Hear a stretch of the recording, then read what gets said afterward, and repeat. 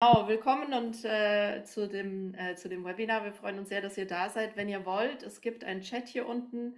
Wäre super, wenn ihr einfach kurz äh, sagt, äh, von woher ihr euch zuschaltet und kurz Hallo sagt, wenn ihr dazu Lust habt. Ähm, das wäre toll, weil es ist jetzt ein Zoom-Webinar, das heißt, wir sehen nicht genau, also es ist, man sieht halt nicht alle Leute im Telefonat, ihr seht alle die Panelisten und uns, aber wir sehen euch nicht und damit wir aber trotzdem ein Gefühl bekommen, von woher ihr euch einschaltet und ähm, genau, ihr könnt ge gerne auch äh, die Minustemperaturen oder Wetter, wo ihr gerade seid, teilen. Ähm, Schneestürme oder sonstige Sachen könnt ihr natürlich auch sehr gerne teilen.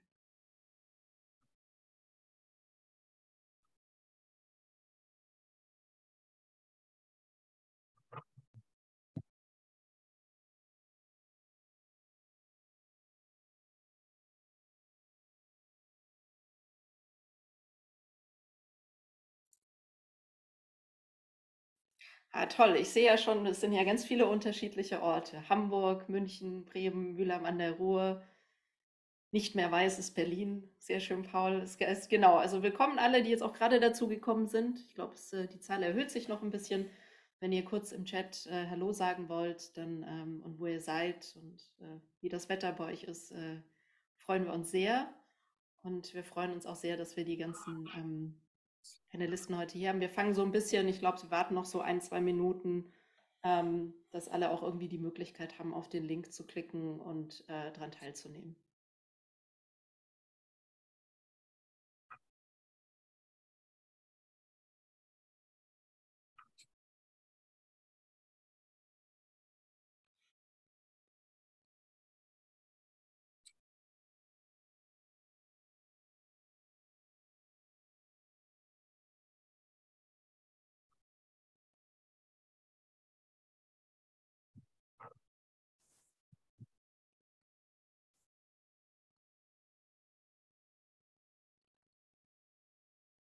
Die Zahl geht weiter hoch. Ich sage noch mal kurz Hallo. Ähm, freuen uns, dass ihr da seid. Wenn ihr das noch nicht seht, im Chat äh, teilen alle, wo sie sich gerade, von wo sie sich einwählen äh, und wie so das Wetter bei ihnen ist. Ich kann sehen, Martin äh, aus Leipzig, da ist es weiß und eiskalt. Äh, in Berlin ist es nicht mehr ganz so weiß hier. Wir haben auch äh, Landsberg am Lech und Taunus, Köln, sehr schön, Allgäu, Toll. Das heißt, wenn ihr teilen wollt und kurz Hallo sagen wollt, dann könnt ihr das über den Chat gerne machen und dann fangen wir in ja, ein, zwei Minuten fangen wir dann an, offiziell.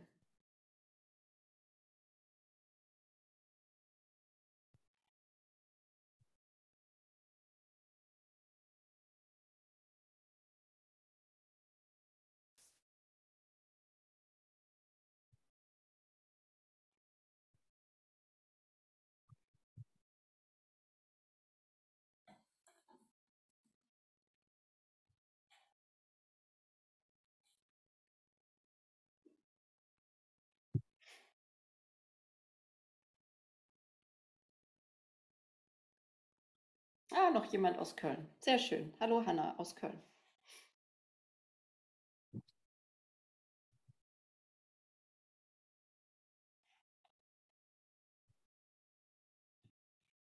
Dann warten wir noch eine Minute und dann fangen wir an und dann äh, genau können alle anderen, die dazu stoßen, ähm,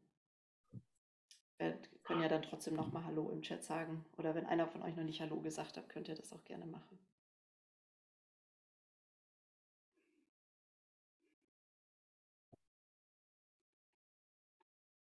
So, jetzt ist fünf nach halb. Ich glaube, wir fangen jetzt an.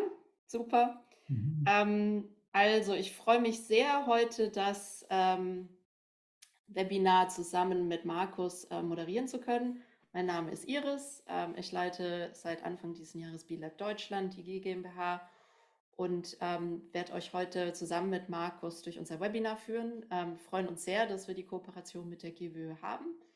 Und äh, was Markus und ich jetzt vielleicht machen wollten, ist, äh, dass wir uns einfach ein bisschen ganz kurz vorstellen. Und wir machen das ja als Gemeinschafts ähm, quasi Kollaboration, dass wir auch noch mal kurz erklären, was so ähm, B-Lab und die Gemeinwohlökonomie sind.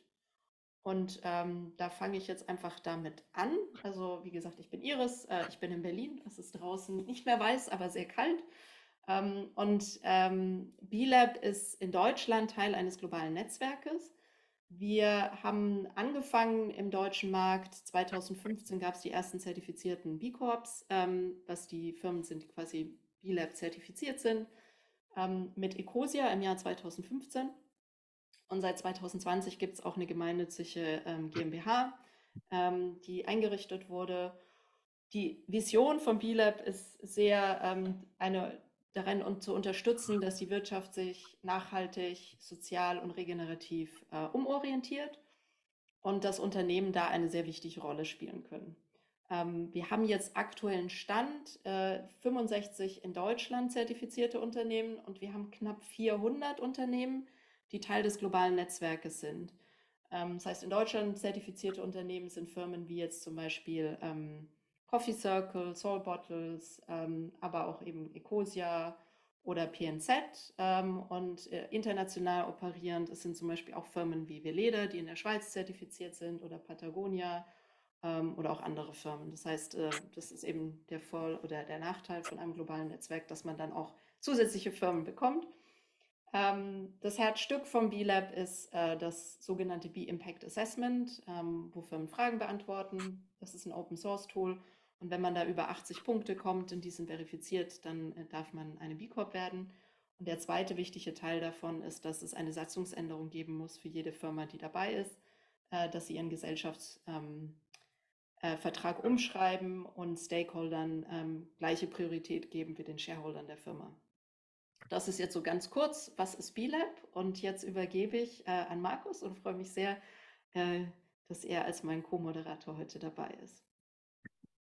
Wunderbar. Danke, Iris. Von mir auch ein ganz herzliches Grüß Gott aus München. Ähm, ich vertrete äh, die Gemeinwohlökonomie Bayern. Wir haben so seit zwei Jahren ungefähr mit BLab zusammen äh, diese Webinarreihe aufgesetzt. Es war eine bisschen längere Pause. Wir hatten angefangen mit Themen rund um die SDGs und wollten uns jetzt so ein bisschen stärker dem Thema Kreislaufwirtschaft zuwenden. Ähm, und die Gemeinwohlökonomie ähm, ist eine, eine Bewegung, die es jetzt seit zwölf Jahren gibt, die sich ganz ähnlich wie BILAB eben auch der Transformation der Wirtschaft hin zu einem nachhaltigen, ethischen, gemeinwohlorientierten ähm, Ansatz hinwendet. Das Herzstück äh, der Gemeinwohlökonomie ist die GBÖ-Matrix, die eben die Basis darstellt, damit Unternehmen ähm, in einem 360-Grad-Ansatz ihre eigenen Leistungen und äh, ihre äh, Aktivitäten ähm, bewerten kann, berichten kann und ähm, dann eben äh, mit einer Gemeinwohlbilanz und einem Zertifikat eben auch nachweisen kann, wie weit sich das Unternehmen schon auf diesem Weg befindet. Ähm, inhärent in diesem Ansatz ist auch, dass eben dort wirklich auch äh, äh, Potenziale identifiziert werden, Verbesserungsmöglichkeiten und dass sich daraus dann eben auch ein Prozess ergibt, in dem sich die Unternehmen kontinuierlich weiterentwickeln und eben mit einer zweijährigen Rebilanzierung dann eben auch ihre Fortschritte äh, selbst erkennen, aber eben auch für die anderen äh, darüber berichten und ähm, damit eben auch ein solcher Transformationsprozess ähm, aktiv von den Unternehmen gestaltet wird. Die GWÖ ist ein bisschen offener, was ähm, Organisationen angeht, die sich bilanzieren können. Äh, das heißt, ähm, eine GWÖ-Bilanz können auch Sozialunternehmen machen, können auch äh, Sozialträger machen, können auch Vereine, äh, andere Organisationen machen und auch Kommunen. Äh, wir haben in Bayern auch zwei Kommunen, die sich schon Gemeinwohl bilanziert haben. Und ähm, in Deutschland sind insgesamt heute ungefähr 800 Organisationen bilanziert. Und ähm, insofern ähm, ja, bewegen wir uns auf einem stetigen Pfad, mehr Unternehmen dafür zu gewinnen. Und ähm, freuen uns sehr, dass heute ähm, da eine, eine schöne bunte Gruppe aus ganz Deutschland ähm, äh, dieses Webinar äh, besucht und äh, hoffen auch auf spannende äh, Referenten und natürlich auch eine spannende Diskussion mit euch. Danke, dann gebe ich zurück an die Iris. Super, danke. Danke, Markus. Ähm, also hier ist jetzt Übersicht, äh, die Übersicht über äh, die Referenten. Wir haben Henning, wir haben Jürgen, wir haben Marius und wir haben Anne-Marie. Wir haben leider nicht Marcel, äh, der wurde von einer Grippe heimgesucht und hat uns gesagt, er hustet so viel, dass es keinem zumuten will. Das werden wir hoffentlich irgendwann anders schaffen, dass äh, er auch das nochmal nachholt. Äh, wir werden am Ende auch ein bisschen sagen, was unsere Pläne fürs nächste Jahr sind. Ähm, vielleicht können wir zur nächsten Slide gehen, weil die Referenten werden sich dann auch nochmal als Teil ihres Vortrages kurz selber vorstellen. Aber wir haben ungefähr den folgenden Ablauf. Ähm, wir machen gerade natürlich die Vorstellung und das Willkommen. Ähm, und wir werden dann äh, Marius und Anne-Marie ähm, haben, die etwas vorstellen zum Thema ähm, den Studien, den sie gemacht haben als Teil von Wider Sense.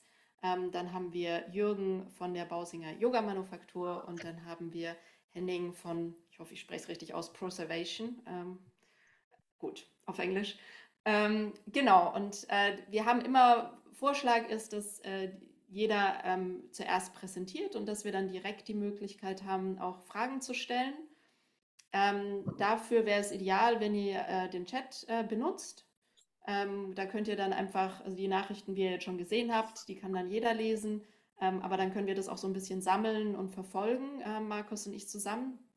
Sollten super viele Fragen kommen, werden wir uns natürlich bemühen, die alle in der Zeit zu beantworten, die wir haben.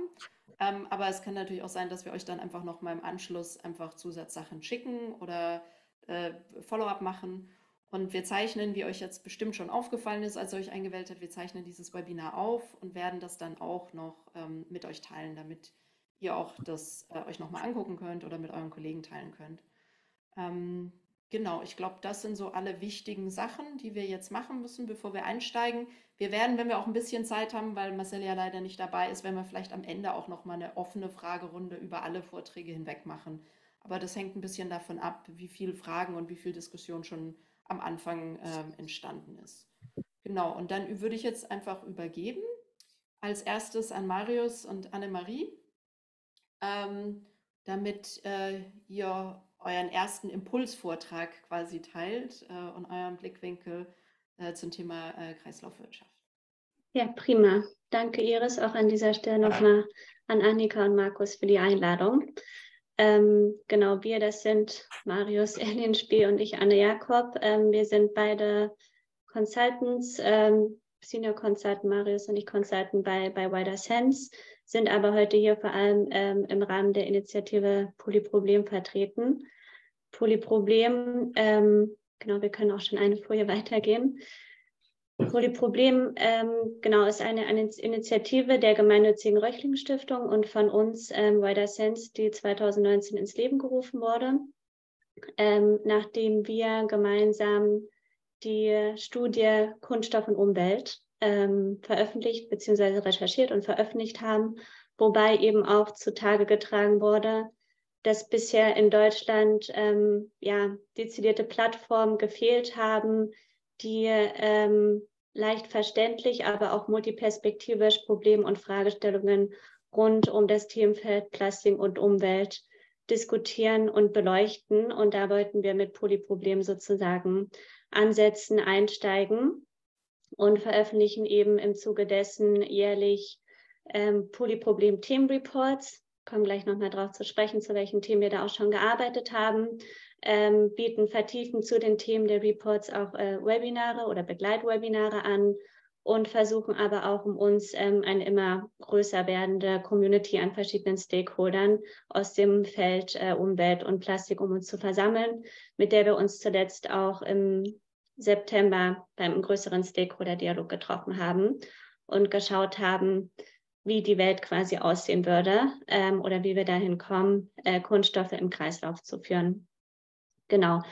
Themenreports haben wir bisher äh, vier veröffentlicht. Den ersten unter dem Titel Der Abfall der anderen, der sich vor allem mit der Plastikkrise oder Abfallflut im globalen Süden auseinandergesetzt hat.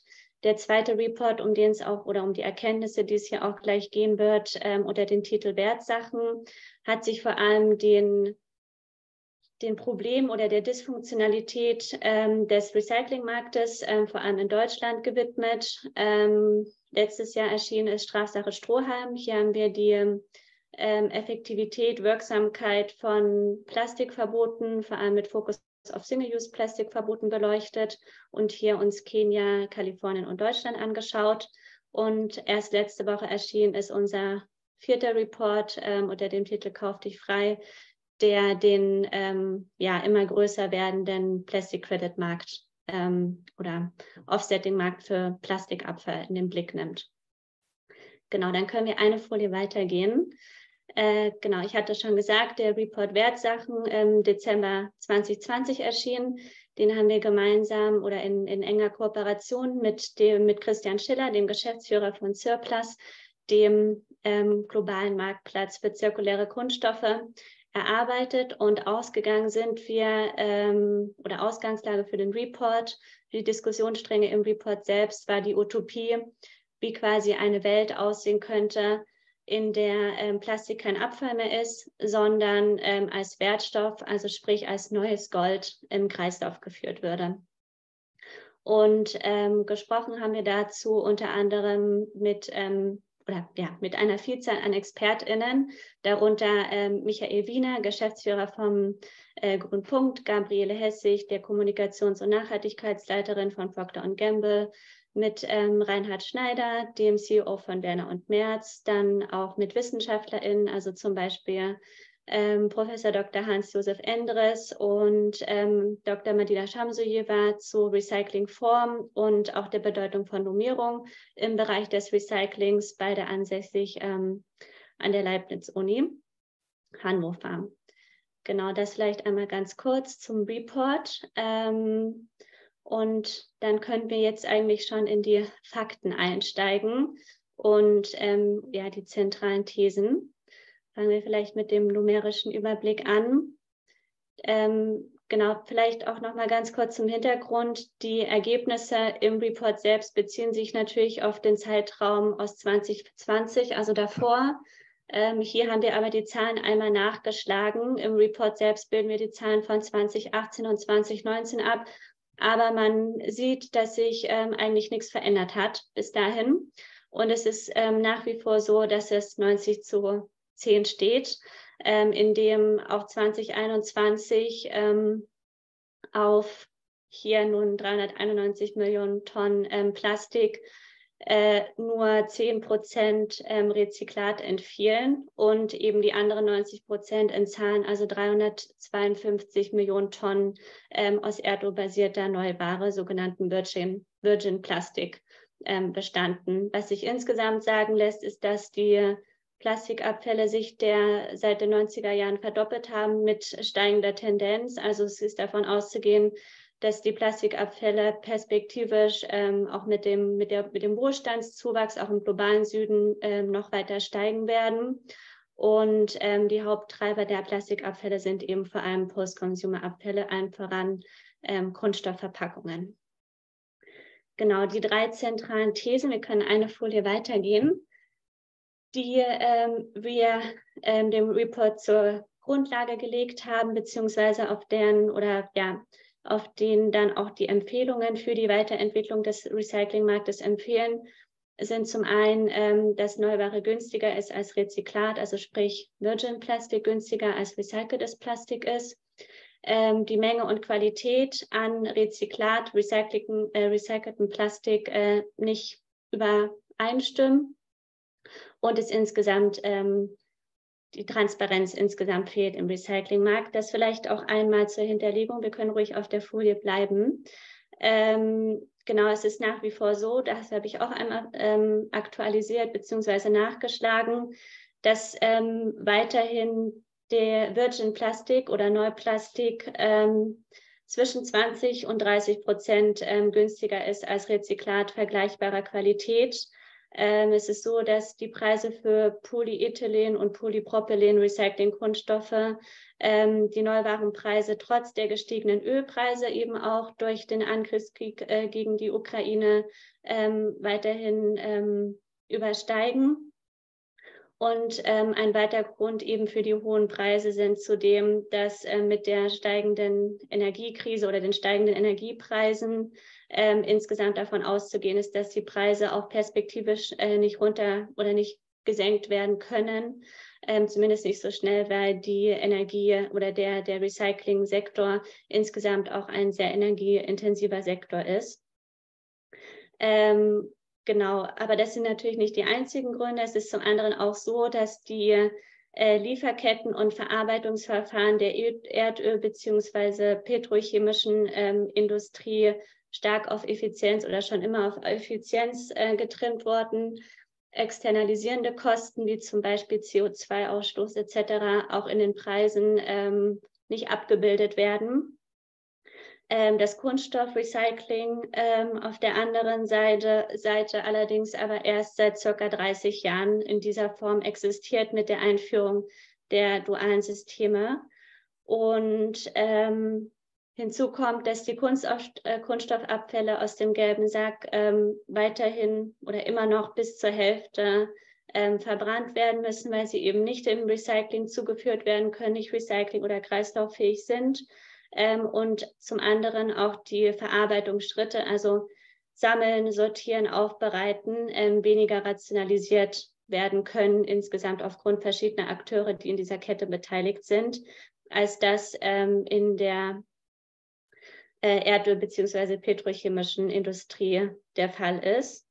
Ähm, genau, und zu guter Letzt ist es auch so, dass äh, der Markt und die Technologie aufgrund der lange Zeit sehr geringen Nachfrage an Rezyklat eben auch kaum Innovation oder Investitionen für Innovation ähm, erfahren hat. Genau, das vielleicht einmal zum oder mit Blick auf die, auf die Preisgestaltung. Dann ähm, mit Blick auf die Menge und die Qualität, die äh, nicht übereinstimmen. Ähm, es ist so, dass in der EU auf circa 50.000 Kunststoffverarbeiter ähm, lediglich 1000 oder circa 1000 Kunststoffrecycler kommen. Ähm, genau, und dabei handelt es sich eben vor allem überwiegend über um kleine und mittelständische Unternehmen, ähm, die mit bis zu 10 oder zwischen 10 und 20.000 Tonnen ähm, nur eine sehr geringe Jahreskapazität haben, Jahreskapazität haben ein Rezyklat, was sie ähm, ja, herstellen, produzieren können. Demgegenüber steht aber gleichzeitig eine extrem gestiegene Nachfrage an Rezyklat, eben aufgrund äh, zunehmender Diskussion um Rezyklateinsatzquoten in der Politik, auch stark durch die EU vorangetrieben, zwar noch nicht ähm, existent oder eingeführt, aber ähm, auch die Wirtschaft selbst ähm, verpflichtet sich ja zunehmend mehr, beispielsweise unter dem New, äh, unter der New Plastics Economy Initiative der ähm, Anne MacArthur Foundation ähm, Rezyklat oder Rezyklat im Umfang von bis zu 25 Prozent in eigenen Produkten einzusetzen. Also man sieht, man hat diesen starken Gap äh, zwischen Nachfrage ähm, und, und Menge. Gleichzeitig ist es auch so, dass ähm, am Markt äh, sogenannte Upcycling bzw. Closed Loop äh, äh, für hochwertige Anwendungen wie beispielsweise Kosmetikverpackungen ähm, zwar stark nachgefragt werden, aber die Produzenten nur im geringen Umfang die notwendigen Qualitäten und Mengen liefern können, was vor allem auch daran liegt, dass eben lange Zeit nicht investiert werden konnte in, in äh, Innovation und Forschung beziehungsweise auch Stand, äh, Standardisierung ähm, dieser Rezyklate, um diese eben auch vertreiben zu können und einsetzen zu können.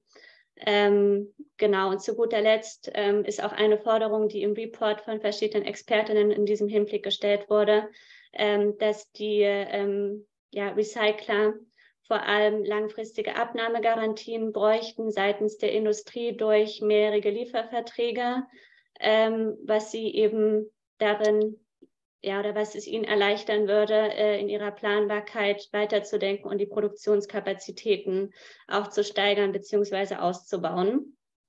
Ähm, genau, und mit Blick auf die Transparenz, ich hatte es vorhin auch schon anklingen lassen, es ist so, dass der ähm, Markt, die Akteure am Markt äh, sehr stark äh, fragmentiert, fragmentiert sind, ähm, was zum einen daran liegt, dass in der Abfall- und Wirtschaftsindustrie wir schon allein ähm, unterschiedliche Größen an Akteuren haben. Wir haben große Player, wir haben mittel- und äh, mittelständische kleinere Unternehmen, aber auch viele Zwischenhändler, was zum einen natürlich auch der Transparenz ähm, schadet und zum anderen die ähm, drei zentrale Kunststoff- oder Abfallströme, äh, zum einen eben den Produktionsabfall aus der Industrie, aber auch den Konsumentenabfall. Also denken wir hier wieder beispielsweise an Verpackungen, aber auch den Gewerbeabfall aus dem Bau beispielsweise.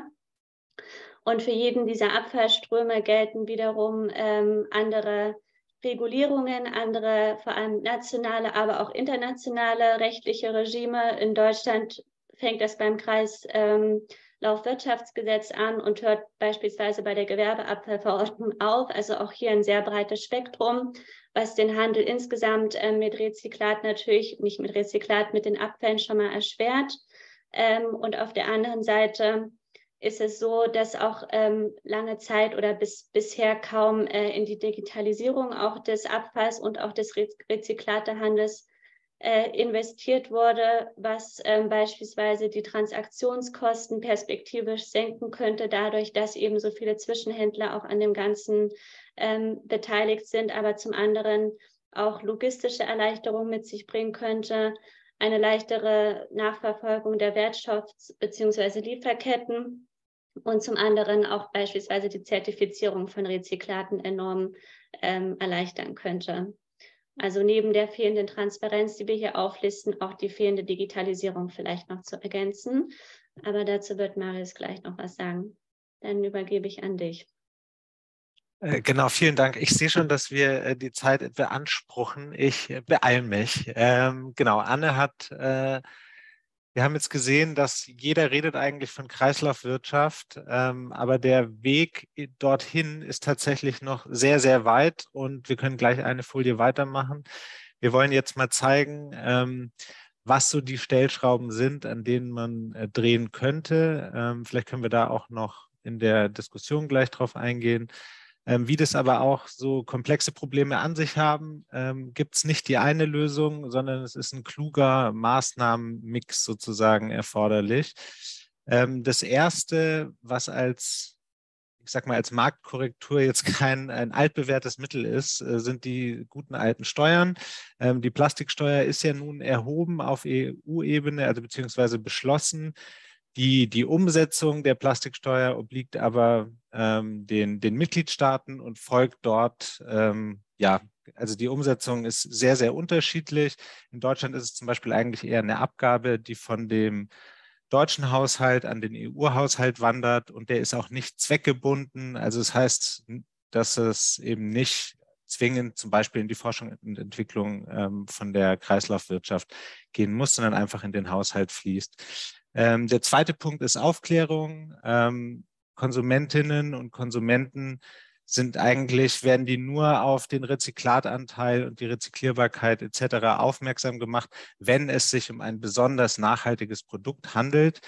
Ähm, wir fordern allerdings ein, dass eigentlich auf allen Produkten leicht zu erkennen sein sollte, wie, ähm, also wie es um den ja, die Kreislauffähigkeit des Produktes steht, wie hoch ist der Rezyklatanteil etc. Und zwar und dann eben nicht nur bei den, bei den positiven Beispielen, sondern auch bei, bei allen anderen. Ähm, ein weiterer Punkt ist, Anne hat es vorhin schon angeschnitten, die, die Recyclingquote. Ähm, aktuell besteht ja die Recyclingquote, wird daran gemessen, wie viel sozusagen der Sortierung zugefügt zugeführt wird.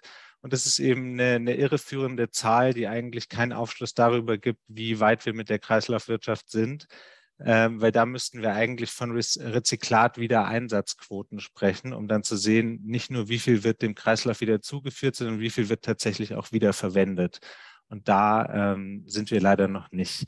Genau, mit Anbetracht auf die Zeit würde ich jetzt ähm, die Punkte Digitalisierung und Standards nicht nochmal aufführen, ähm, sondern Vielleicht können wir gleich zu den Fragen springen. Wenn es denn schon welche gab. Ich habe jetzt nicht äh, den. Also den, es gab im Moment äh, nur eine Frage bisher, die lese ich mal vor und habe gerade noch mal alle Leute ermuntert, äh, wenn ihr jetzt Fragen habt. Ah, da kommen jetzt noch zusätzliche Fragen rein. Genau, Schreiben dauert immer so ein bisschen. Ähm, die erste Frage war von Petra, die eine ganz konkrete Frage hat ähm, an äh, uns zum Thema, wo Glasfaser ähm, angeboten werden können. Also der Kontext ist, sie werden Rotorblätter von Windkraftanlagen recyceln, ähm, indem wir die Glasfasern von den Klebern trennen und den Kunststoff in Wasserstoff verwandeln.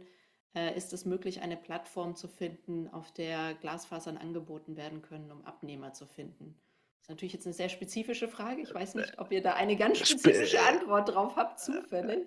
Ich leider nicht, Anne. Ich weiß nicht, wie es dir geht, aber das übersteigt, ähm, ja, glaube ich, so ein bisschen. Ich leider auch nicht. Okay, das, dann können wir ja vielleicht nochmal gucken, ob wir das recherchieren können. Äh, genau. Es gibt dann noch einen zweiten weiß gar nicht, ob das ein Kommentar oder eine Frage genau, ist. ich glaube, das zweite war ein Kommentar, ja, Steuern. Ah ja, und da ist, glaube ich, auch ja. eine Antwort zum Thema äh, Glasfaser-Recycling. Hm. Ähm, genau, da hat äh, Petra eine Antwort bekommen von Christoph. Ähm, und der hat auch geteilt, dass Steuern grundsätzlich äh, genau, nicht zweckgebunden und Aufklärung ein wichtiges Thema. Und dann hat er auch einen Link geteilt. Ähm, Gibt es noch irgendwie von jemand anderen eine ganz konkrete Frage, äh, die ihr im Moment an Marius und Anne stellen wollt? Ansonsten noch der obligatorische Werbeblock am Schluss. Folgt uns auf Twitter, folgt uns auf LinkedIn. Ähm, wir freuen uns, wenn unsere Community größer wird. Wie kann Aber wir haben hier noch eine konkrete Frage. Ähm, wie kann ich mir die Umsetzung der Plastiksteuer für Polyestertextilien in Deutschland vorstellen? Ähm, auch das ist jetzt eine äh, sehr spezielle Frage. ähm, Ihr kriegt keine ich, generischen Fragen. Ihr kriegt genau, ich merke, ich merke schon, ähm, müsste, müsste ich auch nachrecherchieren, wie, wie das äh, mit Blick auf ähm, Polyester tatsächlich ist. Ah ja, und dann ist eine Frage ähm, zum Thema Standards. Ähm, genau, weiß, also. Ob ihr da vielleicht noch ein bisschen mehr dazu sagen wollt. Also genau, ähm, Anne hat es gesagt, wir haben natürlich beim Einsatz von Rezyklaten ist es natürlich gegenüber von Neuware deutlich komplexer, weil das einfach andere Mechanismen sind, die äh, Standards und Normen zu entwickeln, die allgemein gültig sind. Ne? Und da stecken wir einfach noch in den Kinderschuhen. Es ist deutlich schwerer, zu sagen, das sind genau die Eigenschaften, die ein Rezyklat haben muss, beziehungsweise dahin zu kommen als bei einer, bei einer Neuware. Und da sehen wir halt ein, eine Lücke, weil auch die mechanischen Recycler da keinerlei Mittel dazu ähm, da, da, dafür enthalten. Und das wäre zum Beispiel eine Möglichkeit, wo man mit ähm, stärkeren Mitteln in der Forschung und Entwicklung was vorantreiben könnte weil Anne hat es ja gesagt, Menge, Qualität ist ein großes Problem.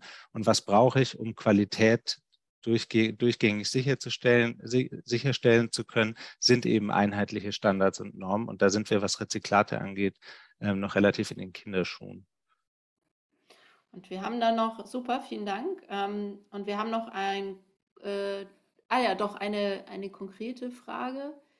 Ähm, inwieweit, inwiefern wird das Problem von Angebot durch die Wiederverwendung in anderen Kreisläufen, wie zum Beispiel ähm, in der Mode, verstärkt? Also ist das Angebotsproblem schlimmer, weil es in anderen Kreisläufen benutzt wird? Ich glaube, das ist die Frage von Hanna. Weil ihr gesagt hattet, es gibt ein Angebotsproblem oder ein, ein Problem zwischen Angebot und Nachfrage. Ähm, ich weiß nicht, ob ich die Frage richtig mhm. verstehe, aber eine Sache, also zum Beispiel, was, was jetzt nicht unbedingt super ist, wenn äh, Patagonia äh, PET in, sein, ähm, in seiner Kleidung verwendet, weil PET ist so der einzige Kreislauf, der halt funktioniert. Ne? Und wenn man das dann aus dem Kreislauf erstmal rausnimmt, ähm, ist es nicht unbedingt, also ich weiß nicht, ob die Frage darauf, darauf Ja, abzieht. genau, das war die Frage.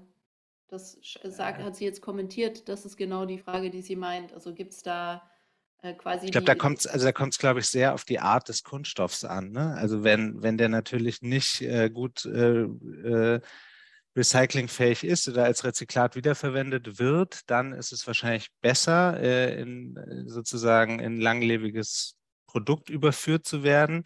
Wenn es aber äh, das, das also die, die, dazu führt, dass etwas aus dem Kreislauf genommen wird, dann ist es natürlich nicht gut. Ja, hat auch das Christoph Heller so beschrieben, sehe ich gerade. Genau. Ja. Ähm, ich gucke mal, es kommen jetzt immer mehr Fragen. Jetzt wird es langsam schwieriger, dem Ganzen zu folgen.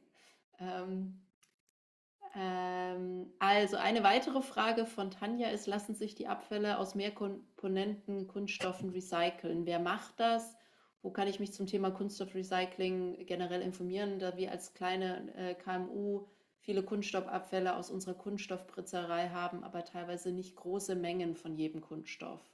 Das ist eine ganz praktische Frage. Also wo, an wen oder wie könnte Tanja da vorgehen zum Thema Mehrkomponentenkunststoffen? Habt da vielleicht Ideen oder Tipps? Genau, so generell ließen sich ja auch Verbünde schon recyceln, je nachdem, wie die Recyclingfähigkeit eben auch sichergestellt wird der, der jeweiligen Verbunde oder Einzelheiten. Es gibt verschiedene äh, Unternehmen, die daran arbeiten, aber was ich vielleicht ganz pragmatisch empfehlen würde, es gibt bei LinkedIn diverse ähm, nischige ähm, Plastik. Ähm, Foren beziehungsweise Gruppen, in die man auch so eine Frage reinschreiben könnte. Ähm, weil ich würde mir jetzt hier nicht äh, zumuten, konkret jemanden nennen zu können, der dann auch tatsächlich passt. Ähm, genau, ich kann auch dann gleich nochmal in den Chat ein paar dieser Gruppen posten, in die man die Frage stellen könnte und dadurch vielleicht auch ähm, Kontakt aufnehmen kann. Ähm, Super. Ähm, ja, das wäre toll. Wir haben noch weitere Fragen. Ich äh, gucke jetzt mal. Ähm, also es war eine Frage von äh, Gerald, äh, wie äh, seht ihr die Chance auf modifizierte Verpackungsverordnung, um wirklich äh, Verpackungen entsprechend dem Footprint zu besteuern? Also jetzt kein Pfand, sondern echte Kosten für die Konsumenten, da er sagt, dass sich dann sonst nichts bewegt. Habt ihr da eine Meinung, wie die Chancen stehen, die Verpackungsverordnung anzupassen? Ich weiß nicht, ob ihr äh, mit der Politik in Kontakt seid, ob es da Bewegungen im Moment gibt vielleicht auf europäischer oder auf nationaler Ebene? Kannst du die Frage nochmal wiederholen? ja, die Frage war, ähm, wie seht ihr die Chance, dass die äh, Verpackungsverordnung angepasst werden kann oder sich weiter verändert? Äh, Wo, also wohin angepasst? In welche ähm, Richtung? Um die Verpackungen äh, nach dem Footprint, den sie haben, zu besteuern. Also dass es eine unterschiedliche Art von Besteuerung gibt, ist, glaube ich, die Frage. Äh, äh, Seht ihr da irgendwelche Chancen oder ist das im Moment gar nicht irgendwie, was ihr davon wisst, gar nicht so? Ich bin erneut, ähm, wie es jetzt für, die, für das einzelne Produkt aussieht, äh, überfragt. Und ich weiß auch nicht, ob da eine, eine erneute Novellierung geplant ist. Also ich glaube, eine Sache, die angepackt werden soll, ist eben ähm, dass wirklich Rezyklate, also nicht nur Rezyklierfähigkeit, sondern dass es halt Rezyklateinsatzquoten gibt. Ne? Und das ähm, wäre ja, wäre ja schon mal eine, eine regulatorische Neuerung, die, die gut wäre, aber dann eben wieder, das wird auch wieder, werden die Probleme, die Anne beschrieben hat, wenn ich dann Rezyklat einsetzen soll, aber nicht in der Menge und Qualität kriege, ähm, ist das nicht, nicht dadurch behoben. Ah, ich, ich sehe gerade auch, äh, Christoph hat auch noch was äh, ge, äh, gepostet. Also ich glaube, Christoph kennt sich da sehr im Detail aus. Ja, ich merke schon. Dass er ja. ganz viele Details schreibt. Das ist toll, Christoph. Ähm, dass er sagt, zur Lenkungswirkung gibt es aktuell eine Revision des äh, Artikels, glaube ich, 21, ähm, wenn ich, das ist glaube ich kein Dollar, äh, äh, Verpackungsverordnung. Ähm, und das kann man auch nachlesen. Und er hat auch eine Frage. Ähm, ich glaube, das ist ähnlich. Die Frage, die wir schon hatten, glaube ich, von Tanja, ist ähm, äh, Lösungen für Kleinmengenlogistik zur Rückführung, also ob es da Lösungen gibt oder ob ihr da irgendwie Informationen habt. Also da kann ich ja auch nur, ähm, da sind wir, glaube ich, die falschen Ansprechpartner, ja, aber glaub, Anne, Anne. Hat Anne ähm, das schon beantwortet. Ja. Okay. Genau. Und dann eine andere Frage, die jetzt auch gestellt wurde, und dann äh, gucken wir mal. Ähm, ist noch auch eine, glaube ich, ganz spezifische. Ähm, äh, ist, was eure Meinung ist zur Tracer-Based Sorting ähm, beziehungsweise Fluoreszenzmarkern. Ähm, ja. Wo es um die Nachverfolgung, ja, Anne? Genau, gibt es ja verschiedene Ansätze. Ich glaube, Holy Grail ist einer davon. Ähm, genau, also finde ich, kann man auf jeden Fall befürworten, aber auch hier stellt sich natürlich wieder die Frage, wer ist hier in der Verantwortung, das auch finanziell zu stützen. Das ist ja so ein Beispiel für quasi Innovation im Bereich des Recyclings. Ähm, und da haben wir zum Beispiel auch im Interview mit Gabriele Hessig hatte sie auch gemeint, dass beispielsweise Procter Gamble und ich weiß auch Henkel ist, glaube ich, auch aktiv in dem Bereich, ähm, dass da äh, ja, finanziert wird, um Lösungen zu finden, halt auch beispielsweise Waschmittelflaschen im, im Kreislauf zu halten. Und zum anderen beobachten wir auch vermehrt, dass zum Beispiel die Schwarzgruppe, also sprich ähm, Lidl, Kaufland gehört, glaube ich, auch noch dazu, ähm, vermehrt versuchen, ähm, eigene, also ihre eigenen Kunststoffkreisläufe zu schließen, indem sie auch ähm, Verpackungsabfälle ähm, selbst ihren Recycling oder selbst Recyclinganlagen ausbauen und dem dann auch zuführen. Also die Industrie wird da, beziehungsweise die Wirtschaft wird da selbst auch tätig. Ähm, jetzt kommen hier noch mehr Reaktionen darauf. Ich weiß nicht, ob das. Ja, nee, super. Also ich, ich, glaube, wir sollten, glaube ich, langsam hier mal die genau. Frage schließen. Genau, das heißt, ich glaube, ich übergebe jetzt einfach an Markus. Wir haben noch eine offene Frage, die ist auch ganz spezifisch. Ich glaube, die werden wir, Martin, äh, deine Frage zu Biopolymeren, äh, können ja Anne und Marius einfach kurz drauf gucken und das im Chat beantworten. Und ich glaube, dann gehen wir weiter zum äh, nächsten, ähm, zur nächsten Präsentation und dann übergebe ich auch, glaube ich, jetzt einfach an Markus, den nächsten Teil der Moderation zu machen. Vielleicht eine Frage noch an, an Marius und Anna. Ähm, hier ist eine Frage zu Biopolymeren, ähm, die zu 100 Prozent aus natürlichen Rohstoffen hergestellt werden, frei von petrochemischen Zusätzen. Gibt es da einen eigenen Recyclingkreislauf? Also genau, ich glaube, die Grundsatzfrage bei den Biopolymeren ist ja ohnehin, inwiefern sie auch wirklich recyclingfähig sind, weil sie natürlich auch, ähm, dass die, die Umgebung, die sie brauchen, um tatsächlich kompostiert werden zu können, teilweise gar nicht in den Bioverwertungsanlagen sichergestellt werden kann, weil es braucht eine gewisse Temperatur, die müssen bewegt werden und das kann zum jetzigen Zeitpunkt gar nicht an allen Stellen gewährleistet werden. Deshalb sind wir zumindest seitens Polyproblem insgesamt vorsichtig gegenüber, was die Befürwortung von Biopolymeren anbelangt. Gibt es auch verschiedene Stellungnahmen, ich glaube auch vom, vom BBF selbst. Wenn ihr bei uns ähm, auf der Twitter-Seite schaut, seht ihr auch da ähm, verschiedene Diskussionsstränge, die wir dazu auch schon geführt haben. Also ich glaube, da braucht es insgesamt ähm, auch eine Weiterentwicklung der, der ja, Wiederverwertungsanlagen dahingehend, dass auch Biopolymere richtig recycelt werden können, weil an sich ist der Ansatz sinnvoll, solange ähm, aber die Umgebung auch sichergestellt werden kann, dass halt wirklich auch eine Kompostierung stattfindet und nicht dieser Müll dann rausgenommen wird und auch der Verbrennung zugeführt werden muss.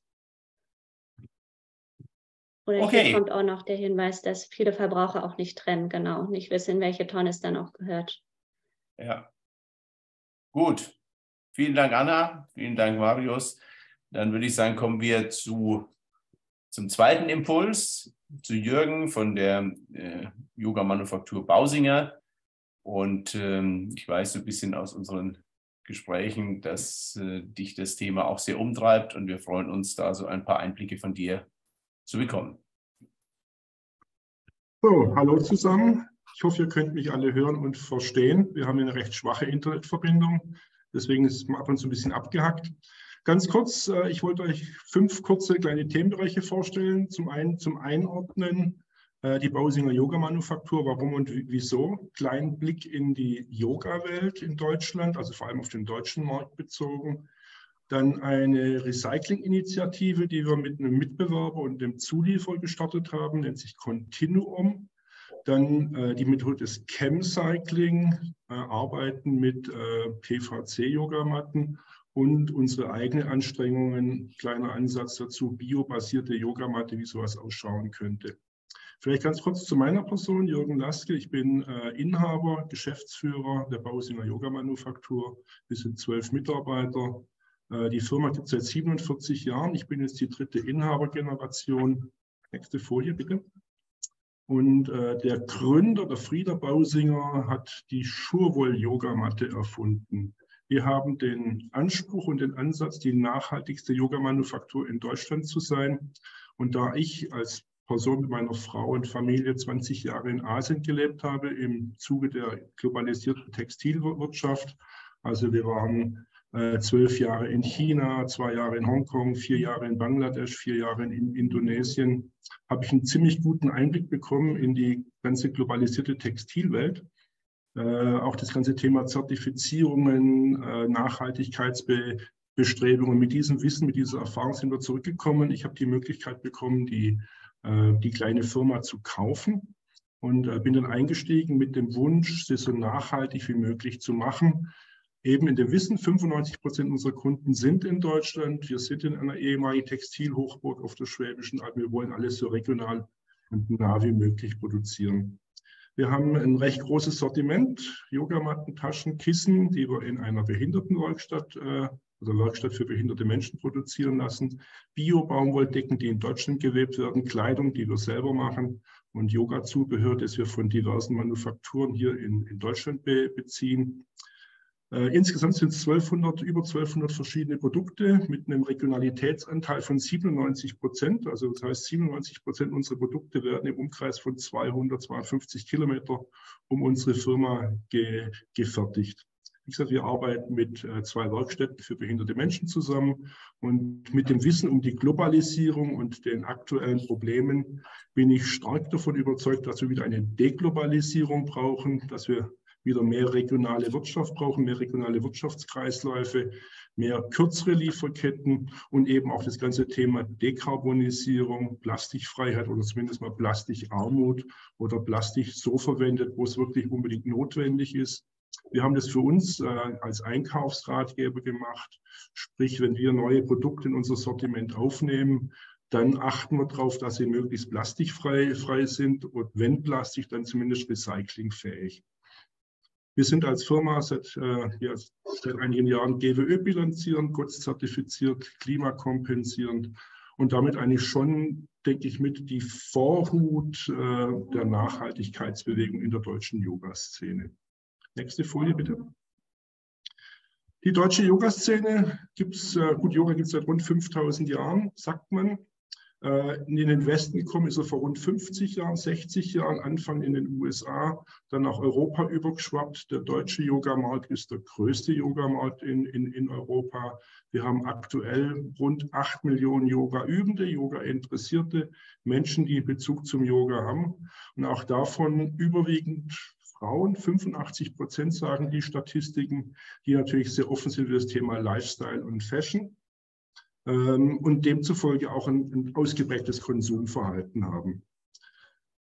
Yoga per se ist ja eigentlich eine Achtsamkeitstechnik, wo es darum geht, Bewusstsein zu, zu, zu, zu schüren. Äh, das Thema Nachhaltigkeit ist eigentlich inhärent im Yoga drin. Nichtsdestotrotz ist mittlerweile ein riesiger Konsum- und Kommerzmarkt drum ausgebrochen. Wir reden davon, wenn man davon ausgeht, eine Yogamatte hat eine Lebensdauer, sagen wir mal, von sechs bis acht Jahren wird ungefähr jedes Jahr eine Million Yogamatten in Deutschland verwendet und weggeworfen. Das entspricht, wenn man von viereinhalb Millimeter Dicke von der Matte ausgeht, einem Turm von etwa viereinhalb Kilometer Höhe. Und das ist eine Zahl, ein Fakt, der zu bewogen hat, etwas daran zu ändern oder daraus zu, zu machen, weil die einfach nur weggeworfen werden und meistens ver, ver, verbrannt werden. Der Yogamarkt dient von ungefähr 14 Fachversendern, Fachanbietern. Das sind meistens kleinere Firmen, so wie wir das sind, die äh, so sich ein bisschen spezialisiert haben, die ihre eigenen Nischen gefunden haben. Aber auch, weil es jetzt eben ein Massenmarkt geworden ist von den diversen Sportmarken, Textilversendern, auf den Plattformen, Direktimporteure, Direktversender. Und was man nicht vergessen darf, die Discounter mit ihren Aktionswochen, die nur punktuell am Markt auftauchen, wie zum Beispiel äh, mit einer Yoga- oder Fitnesswoche im Herbst oder im Frühjahr, die man normalerweise gar nicht so wahrnimmt, aber dann mal eine große Menge an, an meistens günstigen, ich sag mal minderwertigen Artikeln aus dem Importbereich dann auf den deutschen Markt werfen. Die so typische Erstausstatterqualität, wie sie meist nur kurzlebig verwendet wird, die dann nach äh, relativ kurzer Gebrauchszeit dann irgendwo den Weg in, in die Abfallverwertung findet. Wenn man sich ein bisschen anschaut äh, am Bereich, was man an Material braucht, äh, ist das allermeiste, die allermeisten Produkte, Artikel ist Importware, kurz in von, von Ost produziert. Wir haben, ich war ja selber mit dabei vor, vor rund 30 Jahren, äh, in Asien, in China ist sehr viel äh, investiert worden. Arbeitskraft war günstig, es gab staatliche Subventionen, es gab äh, staatliche Investments. Äh, viele große deutsche Hersteller oder europäische Hersteller, westliche Hersteller sind nach Fernostasien abgewandert, sind natürlich dann auch kostengünstiger und daher ist äh, mittlerweile die Produktion von wir, Alltagsgegenständen in Fernost einfach der Standard und normal. Und äh, dagegen kämpfen wir einfach auch an, wenn wir eben sagen, nee, wir haben regionale Kunden, wir haben regionale Produktionsmöglichkeiten, wir wollen es hier vor Ort halten, einfach aus der Gesamtökobilanz. Was wir feststellen, ist immer mehr Greenwashing, das Thema Achtsamkeit, Bewusstsein um die Nachhaltigkeit, das wird langsam mehr und mehr. Äh, das macht es natürlich für uns als kleiner lokaler Hersteller einigermaßen schwierig, weil wir von den Preisen, von den Margen her gar nicht mithalten können mit den großen Industrieanbietern. Nächste Folie bitte. Genau, diese viereinhalb Kilometer Yogamatten, die jedes Jahr der Verbrennung meist zugeführt werden, hat drei Firmen, nämlich äh, Kurma als Yogamattenhersteller, ist wirklich also ein Produzent, der in Deutschland produziert, ist zwar eine belgische Firma, aber produzieren in Deutschland. Ein Kollege, Mitbewerber von uns, Green Yoga Shop und eben uns, Bausinger Yoga Manufaktur als, äh, als äh, ja, als Vertreter der deutschen Yoga-Szene dazu bewogen, dass wir eine Initiative starten. Das ist ja 2019 hat es begonnen mit den ersten Diskussionen, wie sowas ausschauen könnte, wo wir eben sagen, wir wollten diese Yogamatten nicht wegwerfen, sondern wir wollen sie der Wiederverwendung, dem Recycling der Kreislaufwirtschaft zuführen. Dazu ist der erste Schritt natürlich die Rücknahme. Und das ist in der Tat mit die größte Hürde, weil die Rücknahme von Einzelmatten zu uns als Versandhandel oder zu Green Yoga Shop oder zu Koma ist einigermaßen aufwendig und teuer.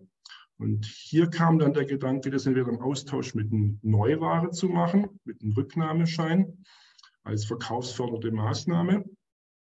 Aber wir wollten es eigentlich auch wirklich losgelöst machen äh, und sagen, nee, wir bieten es auch Kunden an, dass uns einfach ihre Matten zusenden dann kam der Gedanke auf, dass wir das mit Aktionstagen machen, mit einem Yogatag, mit einem Recyclingtag, dass zum Beispiel Studios dann zum Beispiel Yogamatten sammeln.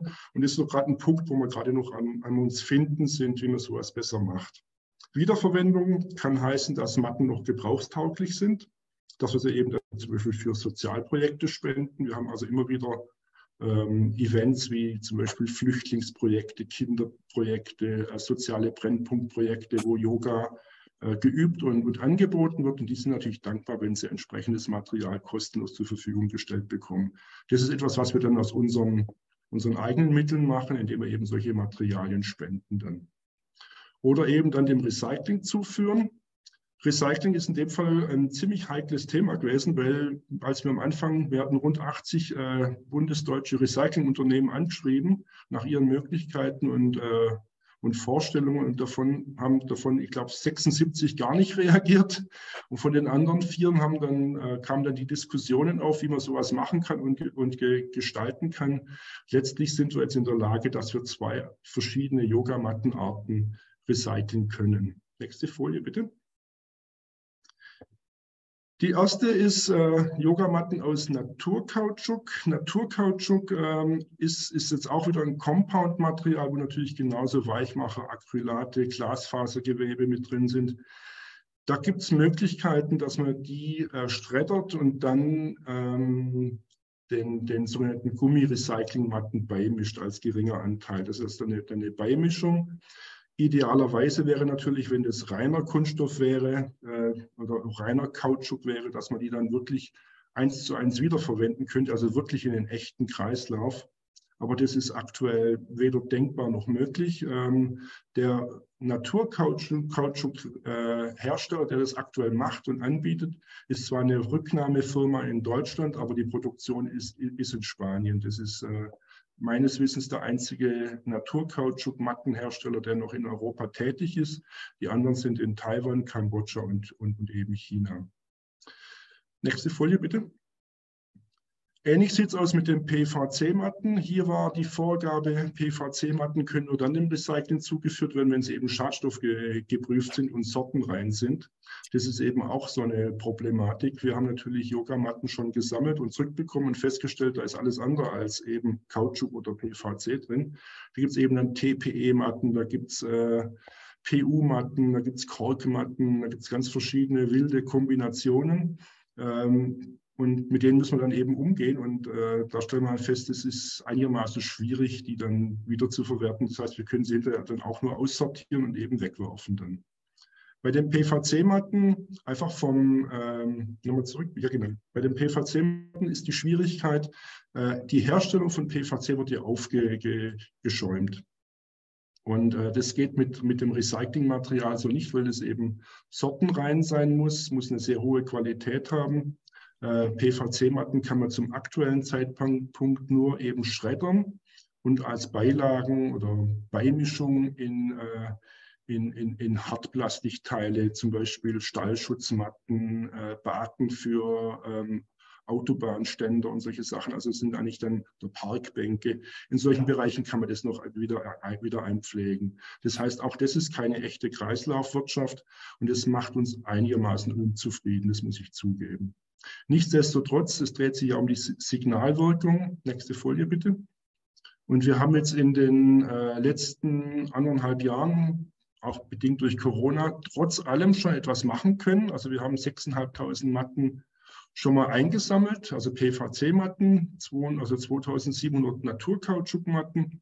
Davon waren noch einige gebräuchlich, also 115 PVC-Matten, 270 Kautschukmatten, konnten wir dann für Sozialprojekte wieder zur Verfügung stellen und der Rest äh, wird, wird dem Recycling zugeführt. Das heißt, es wird dann in Gitterboxen ge gesammelt und wird dann äh, zum äh, Recycler äh, der es dann entsprechend schreddert und dann in den Produktionsprozess mit einlaufen Das ist natürlich an der Gesamtmenge nur ein kleiner Tropfen auf den heißen Stein.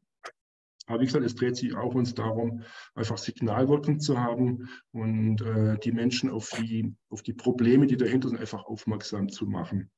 Also es ist mehr so ein äh, Inspirationsmodell äh, als wirklich ein, ein echtes, äh, langfristig lauffähiges äh, Nachhaltigkeitsmodell. Wenn sich daraus entwickeln kann, schön, freuen wir uns auch. Und momentan geht es eher darum, einfach die Achtsamkeit dafür hochzuheben, um dann solche Ansätze ähm, mehr und mehr zu fördern. Nächste Folie bitte. Idealerweise wäre es natürlich, wenn, wenn Kunststoff, so wie man eben einsammelt, äh, aus, der, aus der Abfallsammlung, aus dem dualen System, generell als äh, als Rohstoff verwenden könnte. Und dazu gibt es interessanterweise auch schon Ansatz. Das wurde uns über unseren PVC-Yogamattenhersteller hier auf der Schwäbischen Alb mitgeteilt. Die arbeiten relativ eng zusammen äh, mit BASF.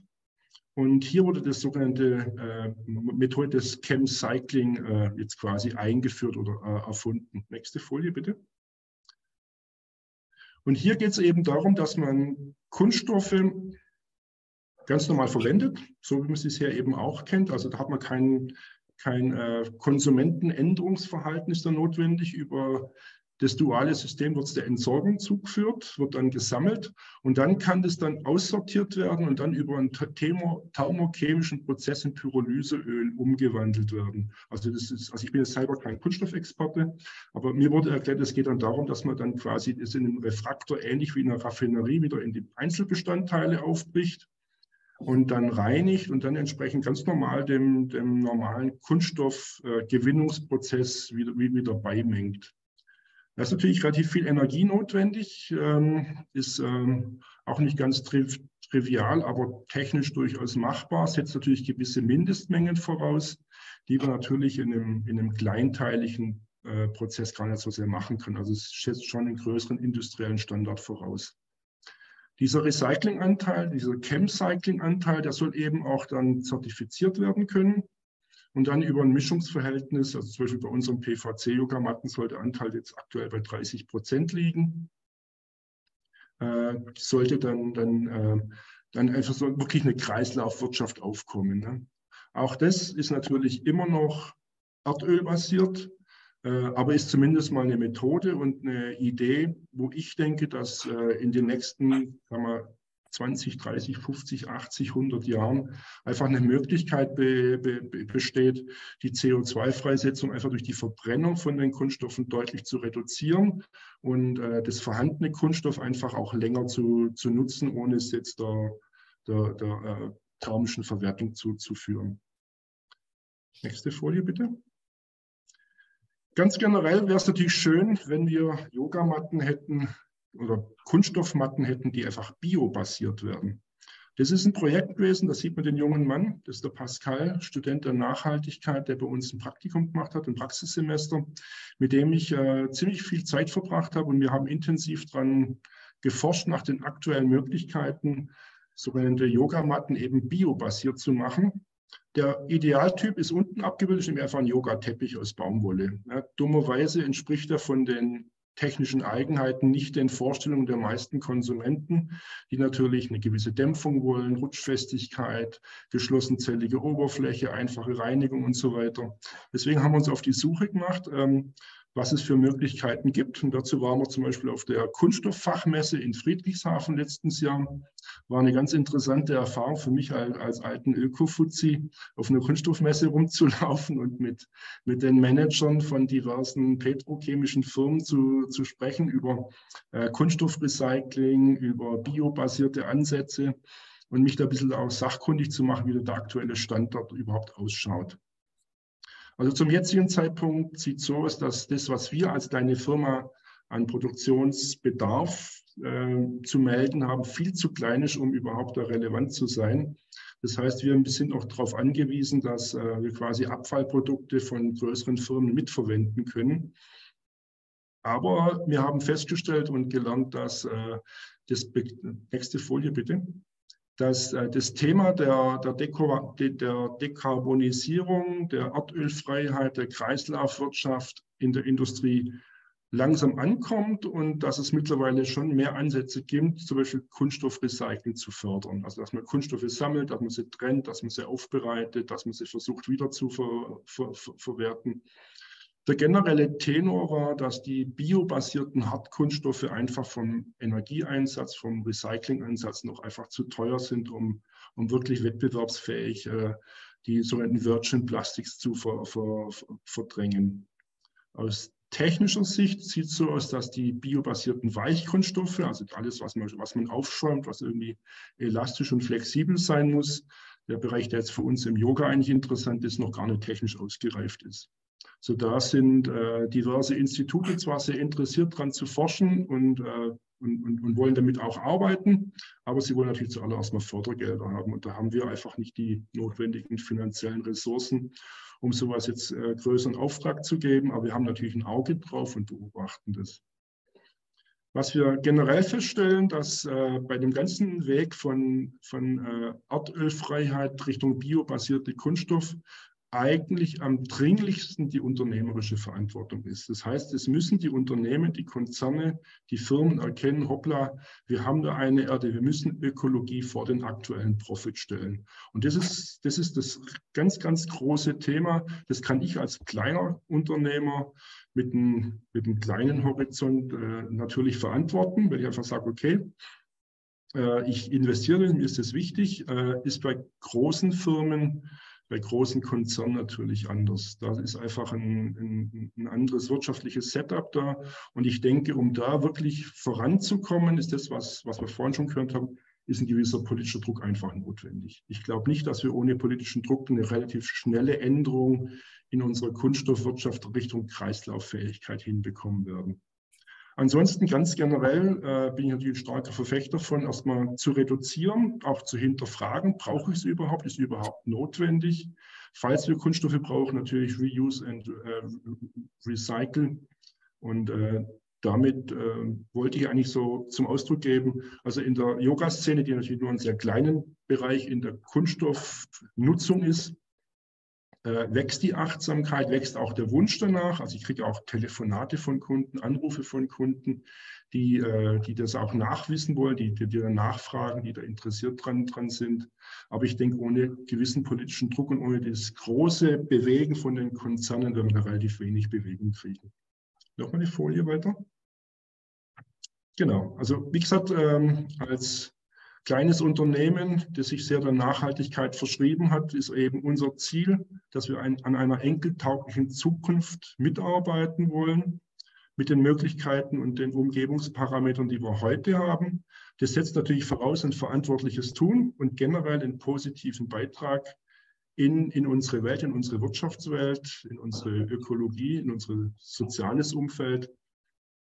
Und äh, das ist das, warum wir auch zum Beispiel GWÖ bilanzieren sind, wenn wir einfach sagen, das ist einfach eine Möglichkeit, das auch zu zeigen, nachzuweisen, auch zu hinterfragen mit den diversen Matrixfragen, wo da überhaupt unser Status aktuell ist. Ganz generell, wir wollen Teil der Lösung und eben nicht Teil der Probleme unserer heutigen Welt sein. Und damit äh, bedanke ich mich für eure Aufmerksamkeit und jetzt bin ich mal gespannt, was in Fragen kommt. Super, Jürgen, vielen herzlichen Dank. Ich glaube, das ist ein spannendes Produkt und äh, ich habe gesehen, dass es eben auch wirklich sehr zufriedene Nutzer von Bausinger Yogamatten hier im Chat gibt. Insofern hast du da also zumindest auch gute Kunden. Ähm, eine erste Frage war, wie ist die Ökobilanz der Rücksendung von Yogamatten?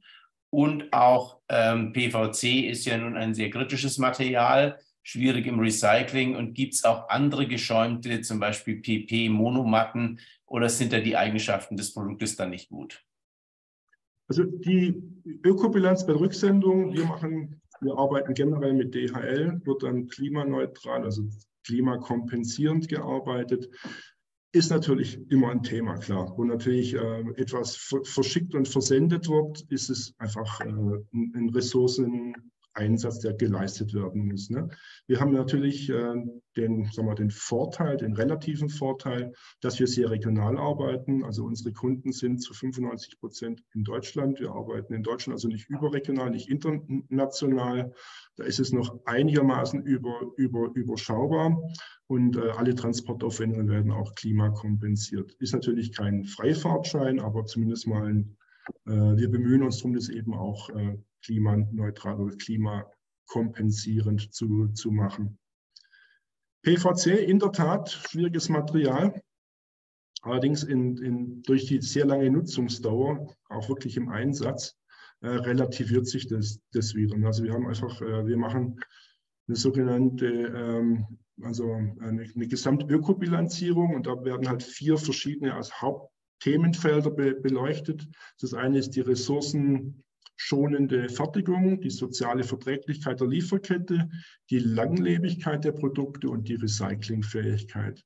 Und das schaut PVC zwar nicht unbedingt toll aus, aber wenn man eben von den anderen Produkten das mit, mit, mit einfließen lässt, sieht es ähnlich aus. Also da, da findet man nicht so sehr viele ähm, so viele Abweichungen. Das, das, eigentliche Problem ist, dass bei den anderen Kunststoffen wir sehr viele Compound-Materialien haben, also zusammengesetzte Materialien, die es in der Entsorgung deutlich schwieriger machen.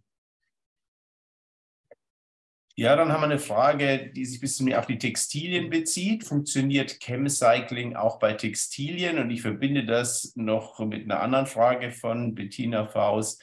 Sagen wir, Sortenreinheit bei Kunststoffen, auch bei Textilien, das ist ja wohl die Herausforderung.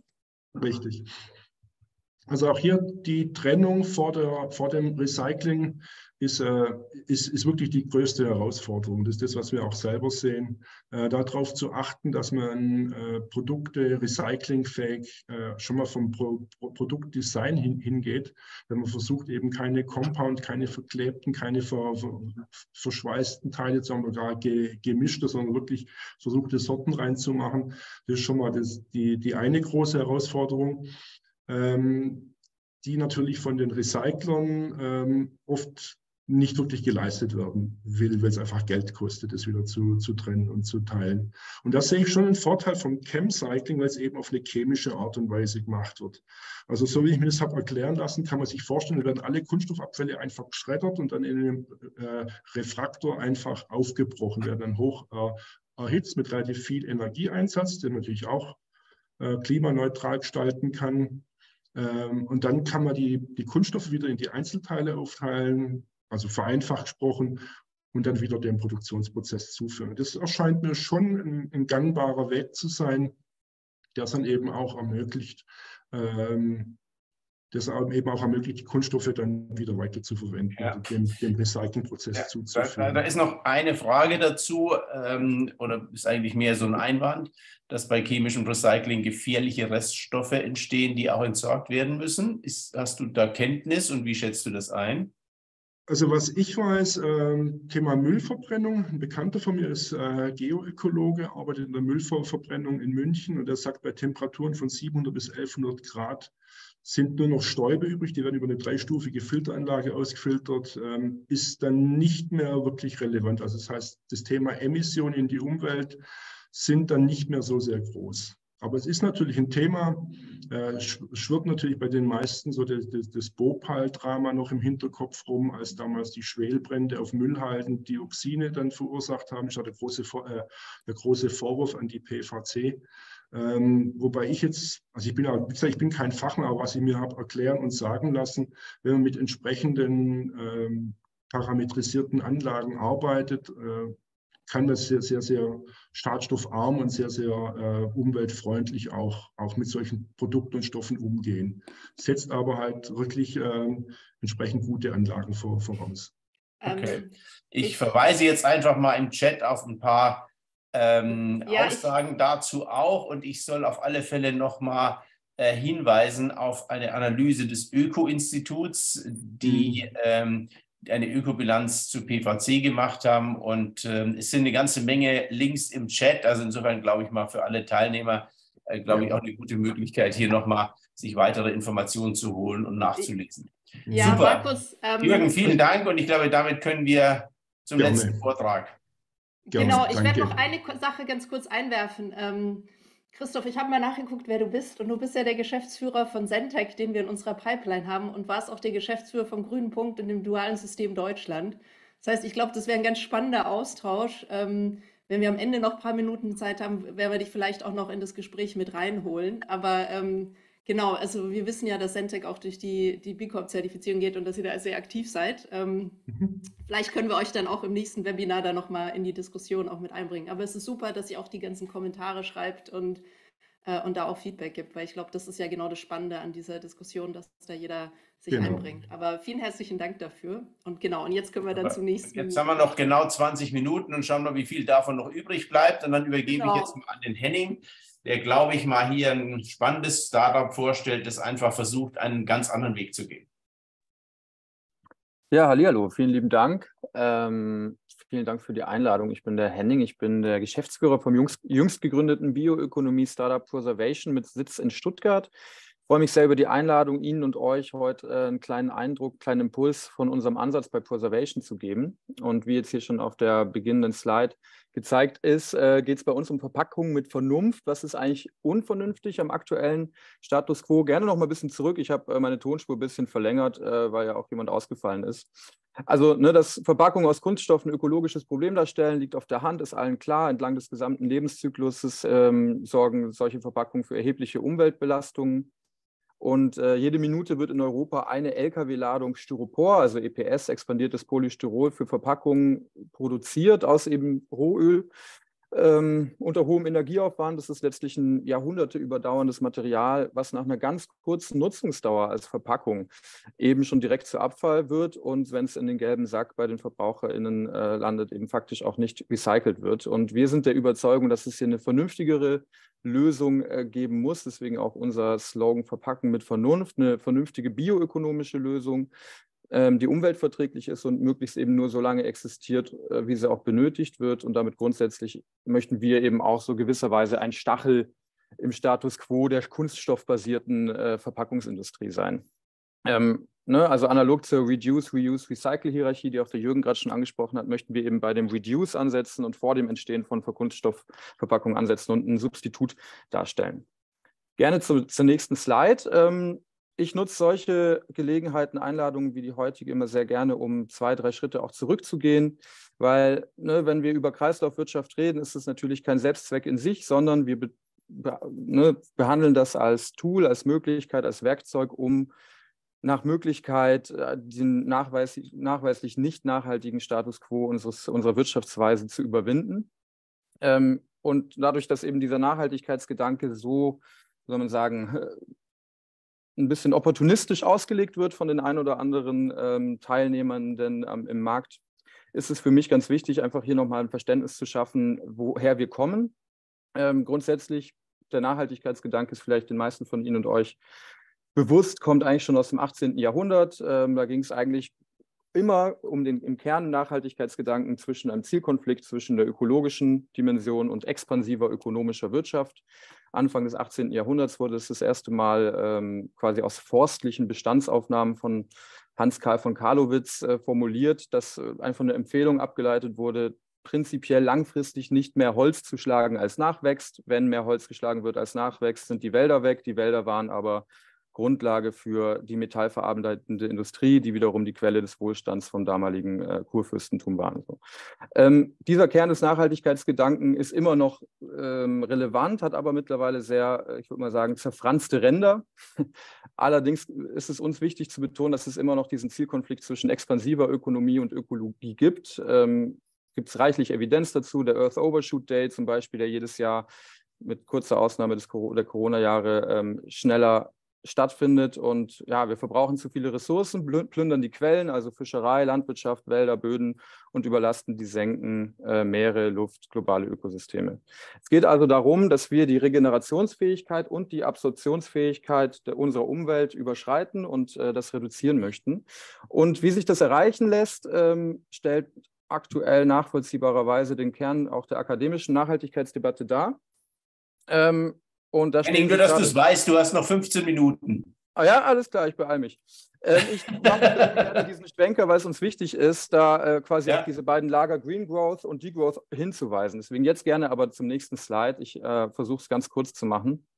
Ähm, in der Nachhaltigkeitsdebatte geht es um die Entkopplungshypothese, die letztlich besagt, dass sich die Wirtschaftsleistung auch in wohlhabenden Industriegesellschaften wie jetzt den zentraleuropäischen weiter steigern kann, während sich gleichzeitig die ökologische Belastung hinreichend reduzieren lässt.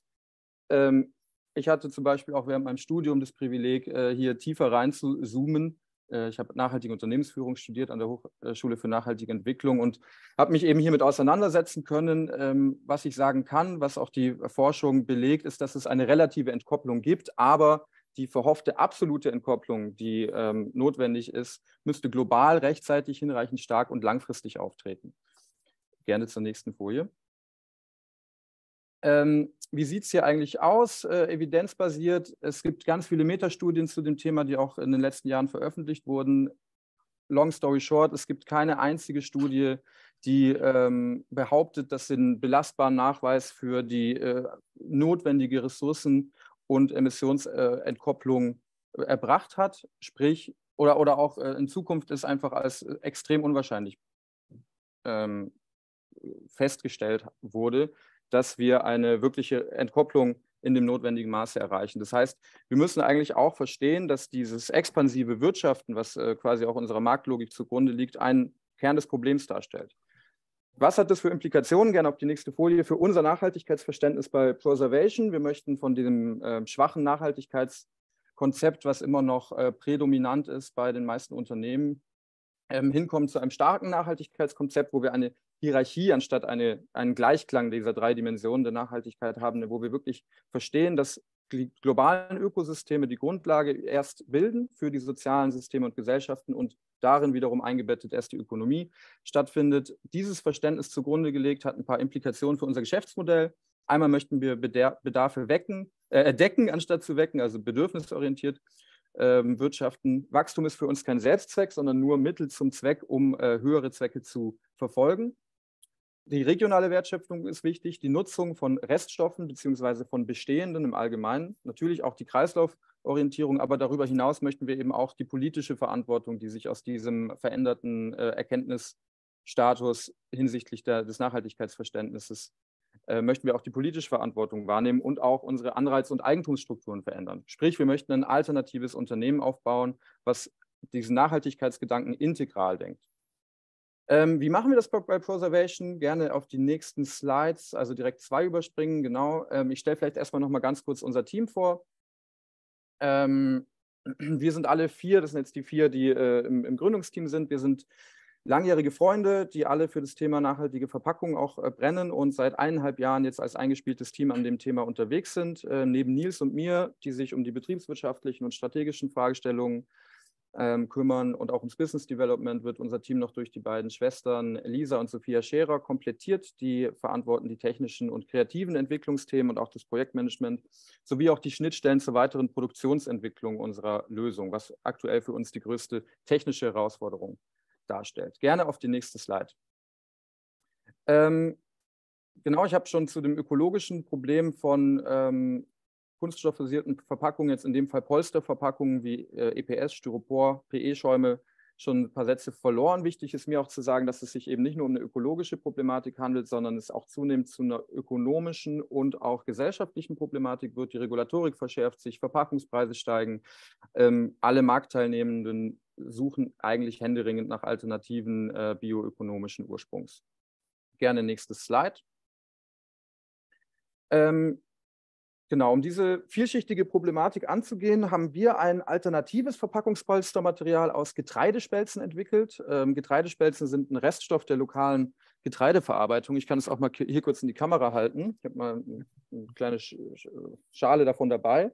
Die werden eben, um bestimmte Getreidesorten äh, zu verarbeiten, im ersten Prozessschritt von ähm, quasi bei der, bei der Mühle vom Korn getrennt und fallen dann in relativ großen Mengen weitgehend ungenutzt an und haben eben durch ihre natürlich gewachsenen Hohlräume ähm, diese für die Polster- und Isolationswirkung notwendigen Eigenschaften natürlich gewachsen mitgebracht. Das heißt, die müssen eben nicht künstlich energetisch erzeugt werden. Und wir haben ein ähm, eigenes biogenes Bindemittel entwickelt, was eben vollständig ähm, biologisch abbaubar ist, biogenen Ursprung ist und können damit weitgehend die Materialeigenschaften von Styropor abbilden, mit dem einzigen oder größten Unterschied beim Gewicht. Da ist es tatsächlich so, dass wir nicht an, an das Gewicht rankommen mit diesem Biomaterial.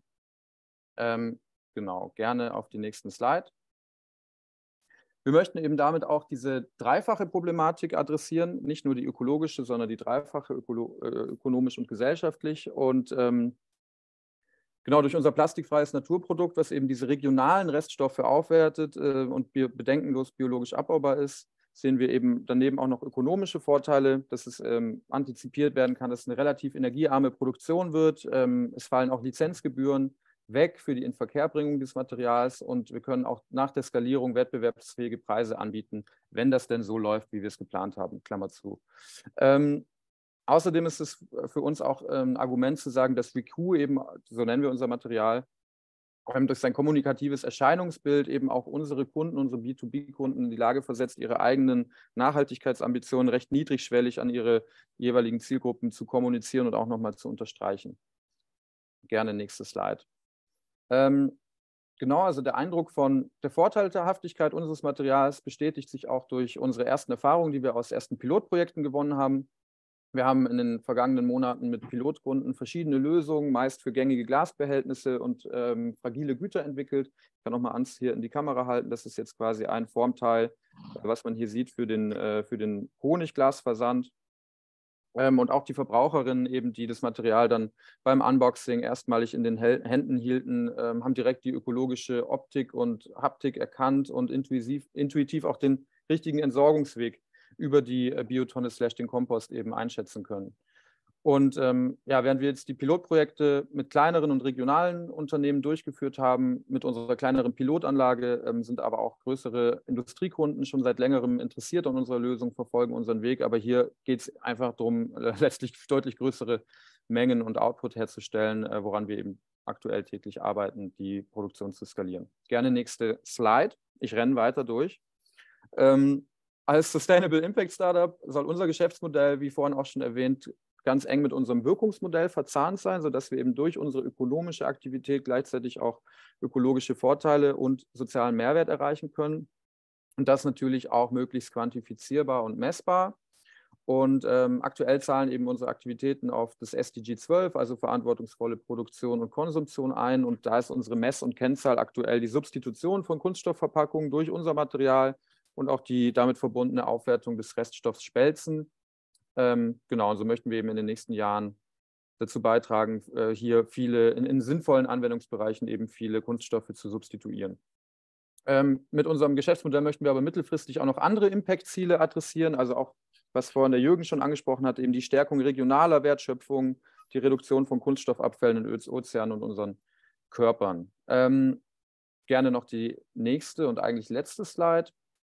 Ähm, ne, um möglichst großen Impact zu erreichen, möchten wir dann unser Herstellungsverfahren, wenn es sich einmal skaliert wurde und etabliert hat, eben auch an geeignete Produktionspartner lizenzieren und ähm, da eben nicht nur Spelzen die von dem heimischen Dinkel, die wir jetzt aktuell um, um Stuttgart rum vornehmlich äh, verwenden, sondern auch von anderen Getreidesorten, die alle ähm, entspelzt werden, wo die Spelzen eben zentral anfallen, Beim Weizen geht es zum Beispiel nicht, weil es schon so gentechnisch manipuliert wurde, dass es beim Drusch auf dem Feld bleibt. Das ist natürlich nicht ökonomisch äh, sinnvoll, das da einzusammeln. Aber wir möchten letztlich einfach, dass da, wo andere Getreidearten wie auch Hirse, Buchweizen, Reis, natürlich auch Norditalien, Südostasien ganz, ganz große Aufkommen von Reisspelzen, dass die äh, letztlich alles, was sich als Ausgangsmaterial eignet, ähm, dass dort wo fragile Güter verpackt werden müssen und die Spelzen entstehen eben äh, Produktionsstandorte für unser Material ähm, ja, entstehen mittelfristig. Und so möchten wir, gerne nächstes Slide, ähm, unseren Beitrag leisten zu unserer Vision von einer Welt, in der alle Verpackungsmaterialien ökologisch verträglich und auch ökonomisch sinnvoll sind. Genau, ich hoffe, ich habe die Zeit nicht über, überstrapaziert und bin gespannt, wenn es noch die eine oder andere Frage gibt, die ich beantworten kann. Super, Henning, vielen Dank. Du hast genau im Prinzip uns jetzt noch fünf Minuten gelassen. Ähm, wir der äh, Christoph Heller hat hier nochmal, äh, glaube ich, ein paar Links hier äh, mit in den Chat gestellt zum Thema Styropor im gelben Sack, Sack der eben äh, im Prinzip nicht recycelfähig ist. Ähm, und ähm, die Frage, ist das Produkt nur für den nationalen Versand geeignet? Ähm, beispielsweise Holzpaletten dürfen nicht unbehandelt für den Export verwendet werden oder sind die Spelzen hygienisiert? Nee, das Schöne ist, dass die Spelzen ähm, eigentlich so, wie sie aus der Mühle kommen, auch für uns als Ausgangsmaterial ähm, gehen. Das heißt, wir müssen jetzt vorher nicht irgendwie bearbeiten. Es ist schon in der Tat so, dass bestimmte Einfuhrbeschränkungen nochmal von uns in der Tiefe studiert werden müssen. Wir haben äh, ein paar Testversende im europäischen Raum gemacht. Da gab es jetzt, äh, ne, haben jetzt natürlich auch, wo kein Kläger, da kein Richter äh, gedacht. Konstruktiver Ungehorsam. Ähm, nee, also das gilt es sicherlich nochmal in, in äh, im Detail zu prüfen wir haben jetzt aber am Anfang tatsächlich für äh, Versand innerhalb Deutschlands so unsere, ähm, unseren Kernfokus. Gut. Ähm, ich sehe jetzt keine weiteren Fragen mehr. Insofern, Iris, denke ich mal, sind wir auch drei Minuten vor dem Ende, was insofern, glaube ich, sehr, sehr pünktlich ist. Ja, ich glaube, was es gezeigt hat, die ganzen Fragen und die ganze Diskussion, ist, dass es ja durchaus ein wirklich sehr spannendes Feld gibt und dass es sehr viele schmerzhafte und nicht so einfache Kompromisse geben muss, weil es gibt halt nicht die perfekte Lösung. Und ich glaube, das ist jetzt so für mich so der rote Faden, der sich durch die ganzen, auch was Anne und Marius gesagt haben, was Jürgen gesagt hat und was auch Hennig beschrieben hat. Also es ist ein, ein wirklich schwieriger Bereich und auch die ganzen äh, Kommentare, die wir im Chat gesehen haben. Also ich, ich glaube, das war also Einstieg für die Sachen, die wir jetzt auch im nächsten Jahr vorhaben, ein, ein, ein spannendes erster Themenbereich, aber ich glaube, da gibt es auch noch sehr viel mehr zu diskutieren und zu vertiefen. Das heißt, in gewisser Hinsicht ist das der perfekte Übergang. Markus, ich glaube, du wolltest die nächste Slide auch noch vorstellen, was wir jetzt im nächsten Jahr nämlich geplant haben. Das wollten wir nämlich genau. mit euch allen auch teilen. Genau, also wir wollen eigentlich jetzt hier durchaus so eine gewisse Serie wieder machen zu dem Thema Wege in die Kreislaufwirtschaft. Wir hatten heute ja schon eine ganze Menge ähm, Fragen, ähm, die sich eben auch mit Textilien beschäftigt haben. Ähm, also wir glauben, dass natürlich das Thema fast alle Sektoren betrifft, aber es gibt so ein paar sehr wichtige äh, Sektoren, weil sie eben auch im Prinzip äh, große Mengen an äh, heute nicht recycelfähigen ähm, Abfällen produzieren. Und insofern wollen wir da jeweils gewisse Fokusthemen äh, angehen und äh, hoffen, dass wir im nächsten Jahr dann hier eine Fortsetzung auch machen können zu drei weiteren äh, Webinaren, die sich mit dem Thema Textilien, Lebensmittel und Elektronik beschäftigen. Wir freuen uns aber auch riesig, wenn wir, haben ja gesehen, es sind da super kompetente Teilnehmer auch dabei, die, glaube ich, auch sich mit dem Thema Recycling an vielen Stellen schon auseinandergesetzt haben. Das heißt, wenn ihr hier Vorschläge habt, Ideen habt, Wünsche, dann teilt sie uns, also entweder BILAB, Annika, Iris oder uns in der Gemeinwohlökonomie Bayern gerne mit. Und äh, wir werden dann auch das natürlich in die weitere Programmgestaltung da auch mit einbauen.